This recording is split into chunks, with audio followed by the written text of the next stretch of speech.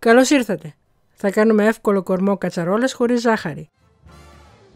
Σε ένα κατσαρολάκι βάζουμε 240 ml νερό, 100 γραμμάρια στέβια, 60 γραμμάρια κακάο, 150 γραμμάρια βούτυρο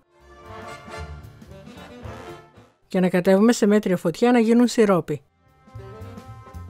Όταν είναι έτοιμο κατεβάζουμε από τη φωτιά και προσθέτουμε 50 ml κονιάκ, 2 βανίλιες και 50 γραμμάρια σοκολάτα με στέβια. Εμείς βάλουμε σοκολάτα γάλακτος. Απλώνουμε λίγο σιρόπι σε μία φόρμα γιατί θα λειτουργήσει σαν γλάσο.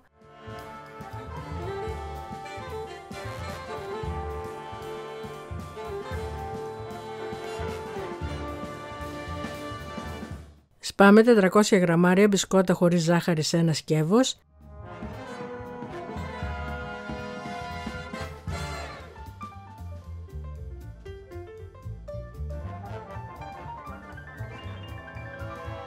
ρίχνουμε το χλιαρό σιρόπι.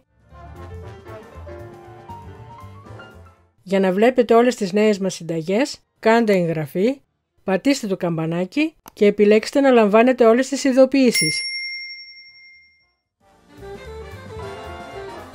Και να κατέβουμε.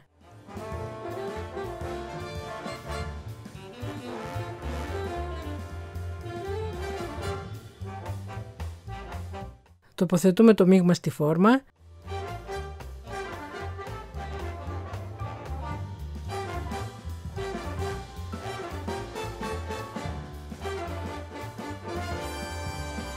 Σκεπάζουμε και αφήνουμε στο ψυγείο για τουλάχιστον 3 ώρες.